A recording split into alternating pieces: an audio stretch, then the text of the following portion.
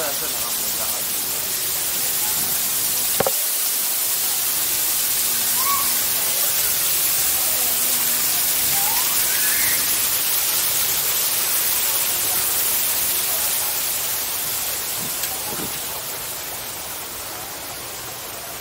好，在座各位嘉宾早安，早上好，我非常欢迎莅临我们理想大地搭乘您饭店的访客游艇。好，待会在这个短短的航程，我会简单的为嘉宾来做个导览介绍。航程过程中，如果嘉宾有任何问。题，我们都可以随时提出来向我做发问。好，首先我就由这条路程开始为您介绍。好，这条路程全长好二点二公里，包含总部的航道。那水深呢，一年四季大概平均维持在一百二十公分。我们运河的水源哦，都是从我们的中央山脉以及南山上面引进下来的山泉水，哦，所以也非常营造出、打造出这个我们台湾版威尼斯的情境，哦，是我们全台湾哦独一无二的人工运河。哦，这条就是我们人工挖掘打造出来的山鸡，但是可以运，但是我不知道。那来到理想大地乘坐黄河游艇是我们饭店最大最大的特色。哦，不管你们选择白天来搭乘，或者是在傍晚晚上以后来搭哦，都会有不同的感觉氛围。哦，白天一定最适合拍照，欣赏我们饭店的风景建筑物。哦，晚上我们就是体验灯光的气氛，哦，多少都会带点浪漫的感觉。那有机会嘉宾都可以选择在不同时段，哦，再来另外购买船券搭乘来做体验。好，在我们这条运河河房两侧，嘉宾会看到的建筑物都是我们饭店的客房啊房间。我们总共有两百三十五间房，最小平至少十五平，最大的就是我们的总套总统套房。好，那嘉宾呢仔细看哦，其实我们每一间房间的阳台啊，也都是面向我们这条运河。我说我们每一间房间呢、它看出去的 view 啊，风景视野角度都不同，所拍出来的景色也会截然不同。啊，这也是我们理想大地的另外一种特色。我们一个阳台，实际上也就是代表着一间房间。好，那在我们园区里面呢，大大小小的桥梁加起来就有十六座桥。啊，乘船只会通过其中的七座。啊，在我们船头前方的这一座呢，是拱形弧度最小最窄，哦，也是船只最难进入通过的，叫做西舷桥。是用我们的火头砖块、红砖块一块一块新建出来的。好，待会在整个航程中还会陆续再通过其他座桥梁，好，那也会另外的再为嘉宾来介绍。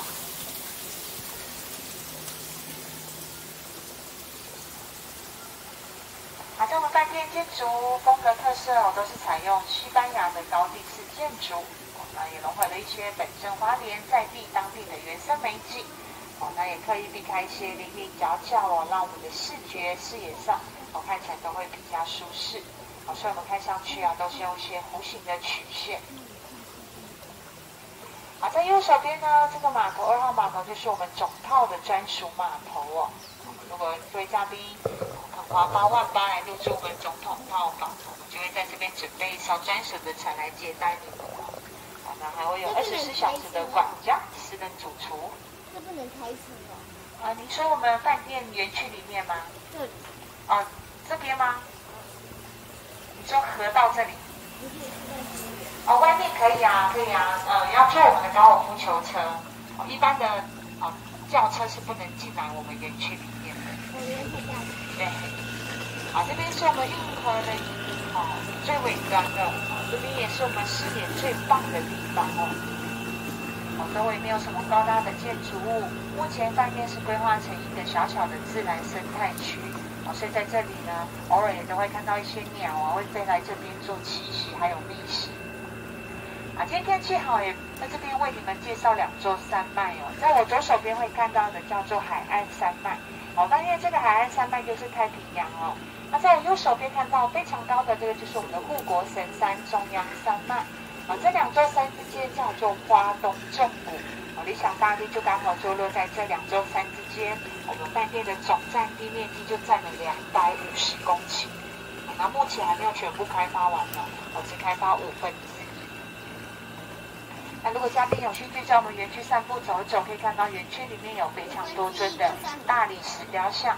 啊，这些纯白色的大理石都是来自意大利的卡拉拉山，啊，它也是依照我们希腊神话故事中的人物造型，哦，再请国外的雕刻师雕刻而成，哦，圆圈里面就将近有六十尊哦。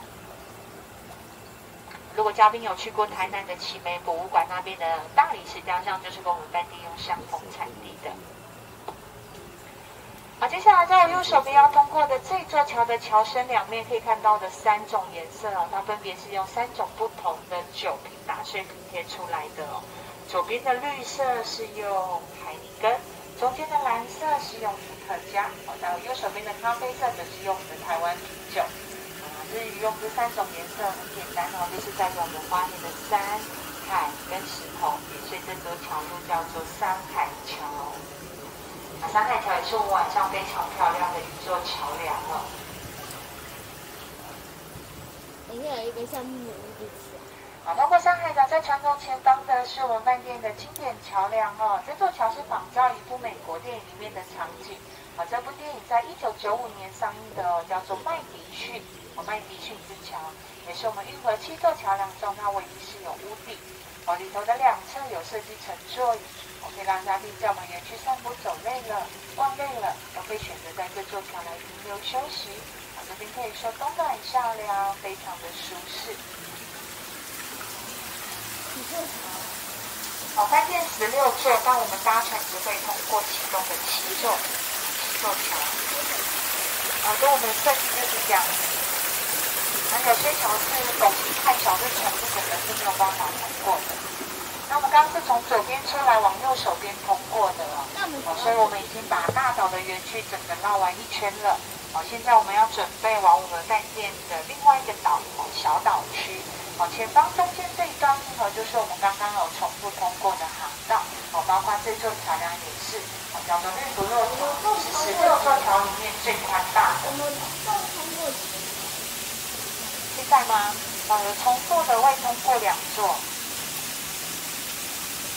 那我们现在已经啊，还有剩下还有两座，前面还有一座是待会也是同步通过的。嗯，好，简单来说，我们整个航程的路线就是画一个非常直立的阿拉伯数字八，还有就是规划成一个八字形。啊，左边的景观山瀑布就是我们中岛区的特色。啊，这个景观山瀑布的后方就是我们的中岛泳池，啊，是我们饭店呢三个岛最大的泳池，啊，全身都是板山。好，现在通过的也是我们刚刚有重复通过的桥梁哦，就是叫做彩虹桥，也是用我们的火头砖块、红砖块一块一块砌建的。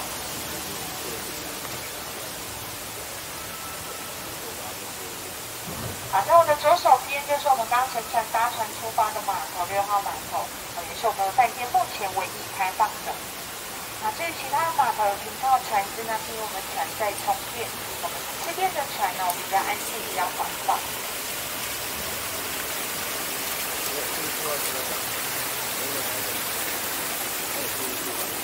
好，在在完船头前方上方的古铜这在铁桥是我们整个航程中里面最后一个通过的第七座桥。啊，它本身也是我们饭店理想大厅第一座先建建造出来的，用我们的锻铁铸铁打造，重量有十五公吨重。啊，在我们理想大地的官网上面是最常看到这座桥的踪影，叫做应许桥。从温泉桥啊，也慢慢进入我们小岛喽。然后我们小岛其实不是指前方中间这块啊，它是位在瀑布的上方。那因为这边地势比较高，所以船只就没有办办法开往上面。我这边简单为大家介绍。好，在我们右前方瀑布的正上方会看到一个黄色圆球的镂空建筑物，啊，它就是我们饭店最浪漫的正婚台。好，在我们小岛区啊，就是完全不少对人的婚生大事。好，这边这路就是我们水源的源头。还记得我刚为你们介绍在我右手边的这座山吗？就是中央山脉。水源就是从这边一直下来，才会慢慢流到我们的花莲市，它是呈现一个活水，不是死水的。那其实我们运河的百分之八十也都是山泉水。好，那待会如果有兴趣的话，也可以请我们风之谷服务中心那边租借我们的电动车自行车。其实也可以骑成单车把我们园区整个骑完一圈。每一个角落其实也都非常适合拍照来取景。好，我的右前方这栋是十九栋哦，也是各位嘉宾今天用早餐的地方。它是一个西式餐厅，叫雨拉餐厅，公开形式为欧式自助式。好，在我们这条硬石河里面哦，有非常多种的鱼哦。其中一种鱼最大只的叫欧溜，它的栖息地哦，就是在我们船这个区块哦。六号跟七号这个区块那边就是一只欧溜。那这边的鱼比较幸福，我们不钓起来吃它们的，我们是单纯观赏用。如果嘉宾也想要体验钓鱼，要在我们公司的服务中心那边可以租借我们的钓竿。啊，这样很不好吃啊，它只是做一个体验而已哦。那钓到的鱼是要帮我们放回去的。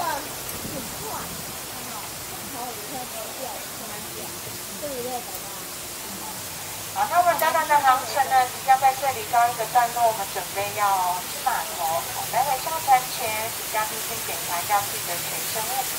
好，上船会比较摇晃哦，不慢慢来。在这里为大家拜年，来自在座的六位嘉宾，祝你们有个愉快美好的假期哦，谢谢。放完这里。